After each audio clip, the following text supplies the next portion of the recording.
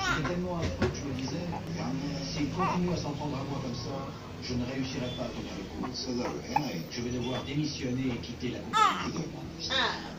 Gagitani dit avoir été victime de violences psychologiques pendant ces cinq mois de Nikki pendant tout le programme de rattrapage, j'ai subi des agressions verbales de la part de mes supérieurs.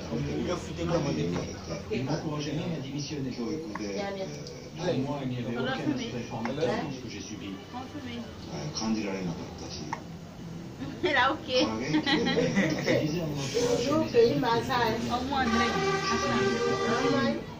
Ah, Mais en réalité, je détestais Le programme de rattrapage a été.